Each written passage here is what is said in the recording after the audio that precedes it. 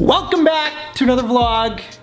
I'm back in Gretna for a little bit. We were packing up. I can't share any of the footage from that shoot until it gets produced, but uh, we're gonna fish on the way home. So that's what we're gonna share with you guys. But for now, gotta pack up this disaster. We got, we got a lot going on there. Uh, quite a bit there and just a, just a full cluster right there that needs to get sorted out in a hurry. Um, but next stop, we'll go pick up Kevin and we'll hit the road. And we're at Kevin's house. You remember him from all the goose videos? That's the guy. What's going on? What's the plan? You get a Uh, model for us? Well, apparently uh, I wasn't supposed to pack anything because you have too much camera gear. Too much camera gear. All right, we're off to Winnipeg, gonna go pick up Nick, and then we're gonna make it to Bissett tonight, where we're flying out of. Who do we have here? Oh, hey! We got Nick, we got Kevin. We are now about to depart. Three hours later. We made it to Bissett, where we're flying out in the morning. It is midnight, we're gonna unload, and then we fly at six. We gotta be ready at the dock at 5.30, so. The beauty of filming fishing is sometimes you have to catch the fish. So we might do a little fishing on this trip. But I'm gonna try to fit all my tackle into this right here because why not? You ready for it? I just need to back a little bit. That's a wrap. We made it to Bissett in the San Antonio hotel. We were gonna sleep for four hours and we're gonna hit the float plane and we're gonna fish on the way home. So if, if you don't see us there, I'm sure we'll check in when we get back. But good night.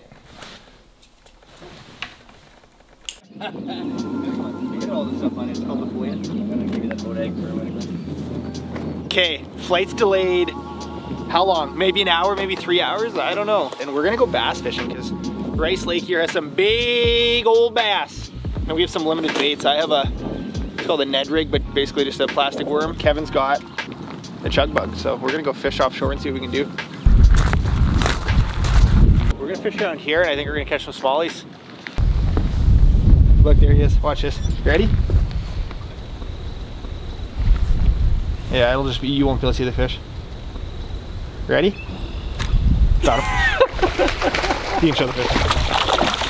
I saw a guy sitting there before. That is what you do when your flight's delayed. We had some rods in the truck and I saw this fish sitting on a bed right by the docks. A hotspot now. And that is our first smallie of the morning. We're gonna catch a couple. We're gonna make the most of this flight delay. Gone. That was good. he was aggressive. We are, oh, I lost him. Hooked up under the dock. That fish just crushed me. We're, we're doing the shore fishing thing here. And uh, just, we have limited stuff we can fish, so just fishing under the dock here. And I got rocketed by a fish. So he might have been on to bed. I'm gonna cast back under there. But that fish just drilled me. I was just hopping along the edge. Got him. Oh, jeez, it's a big bass. My goodness. this is ridiculous.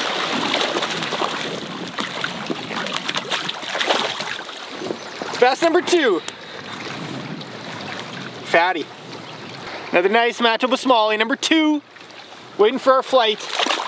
And uh, we're catching. Always, you always need a rod in the boat for situations like this. I don't shore fish as much as I used to, but it's a different challenge. That audio is gonna be bad. Oh, it's gonna be so bad. Won't be able to hear anything. Oh, there we go. Number three. Woo! We're slinging this one. Hey! Little baby. You're fat. Right there. Woo! Gone. That's okay. I wasn't expecting to catch any fish this morning.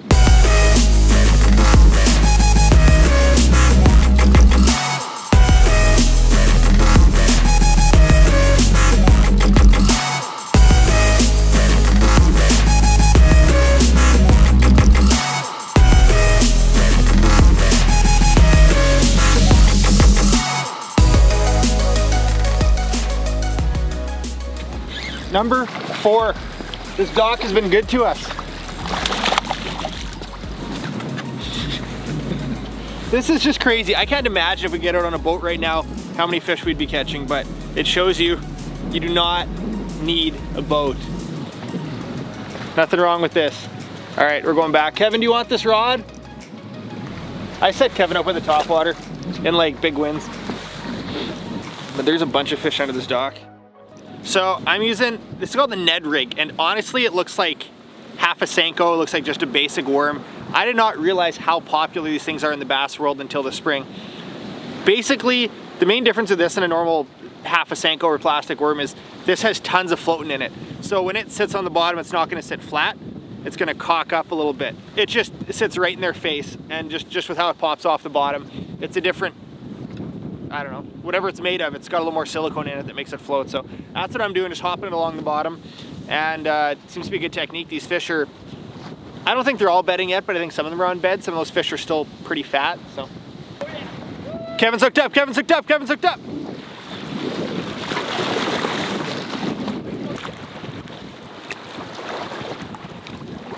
Here he comes.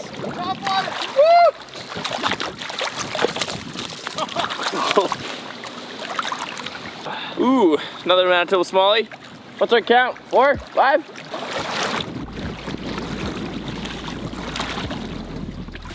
Well, I think we hooked the biggest one of the morning. And it's gonna be, I don't know, if, I don't think it's a master, but it's, it's pretty big.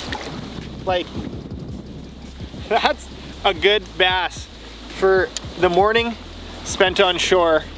That's probably a 17 incher or so. We're gonna put it back and we're gonna keep fishing, but it shows you you don't need a boat. The shore fishing opportunities are pretty sweet all over here. I mean, we're gonna probably fish a couple lakes on the way home after we finish this shoot. Catch a couple more bass today and I don't know, we got limited water. We've caught like, I don't know, how many bass, Kevin? Eight? Eight bass probably, a couple pike and you know, especially in summer and spring, the bass are shallow. You can just go bang shoreline and catch fish. What do you think? What are we doing? Give me an update. Loading up on the plane. We're finally got the all clear to uh, to head out. So we're loading up all the gear and we're heading out. Well, we will fish when we get back, but now we're going on a plane. Well, they decided to let me fly today, so it should be a good time to learn. It's not too windy, and all these people are trusting me with their lives, so I'm pretty happy about that. Just kidding, we got a good pilot.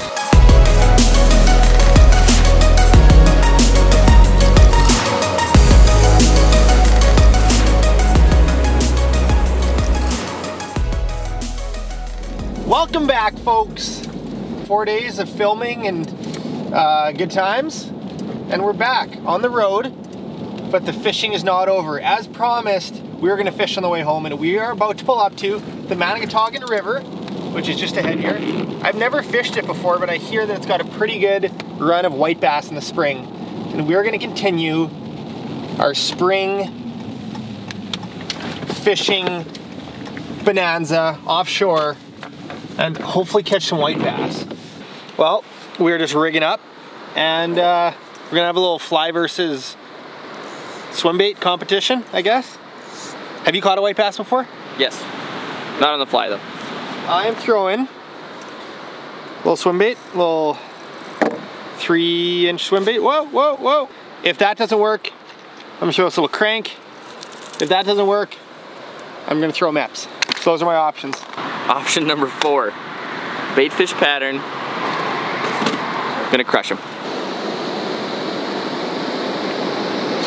There's a fish! Fish on! Yeah! Just about to switch baits. Oh, I hope it's a white bass. Oh, I hope it's a white bass. Don't be a pike. Be it's a white bass. We got a white bass. What we came for. Yeah! That is a little silver beauty right there. Look at that. Chowed that swim bait. Man, I just slowed it down a bit. These are cool fish. These fish just stack up here in these little tribs in the spring. And that's probably a 14 and a half incher, but it's a good start. Just like that. Number one on the board, took us five minutes, so I'm, my mood changed greatly as you could see in that last sequence. We're gonna keep keep doing it. Maybe Kevin will get a couple on the fly.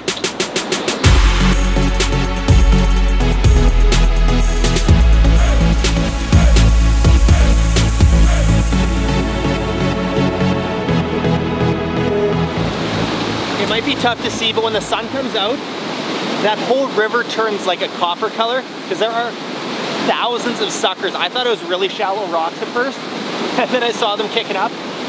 There are so many. If you want to catch a master angler sucker, it's probably one of the best places. The Manitoba record used to be from here. It is wild. Like I, I was snagging them, not on purpose, just every cast.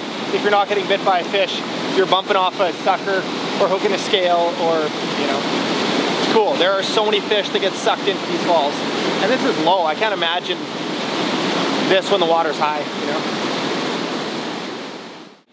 Well, Kevin, what do you think of our trip together? Oh, it's been amazing. We've shared some good times. Oh, so cheesy. We're done. That's a wrap.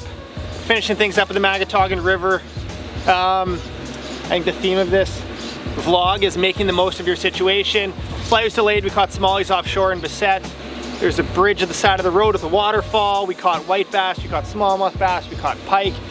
Um, we saw a thousand suckers and carp at the bottom, which was pretty cool. I mean, it just shows you don't need a boat, especially in eastern Manitoba. There's so many tribs, so many lakes if you go through the Nopiming and Just get out there. Like Just- you said, make the most of your situation. Well, I think that's pretty much a wrap. I'm sure you're gonna see Kevin on another vlog because he seems to be the most consistent co-host. That's true. We've made a, quite a few appearances already. Yeah. Uh, make sure to subscribe. Make sure to follow Kevin on Instagram. And up next, I guess we'll wait and see.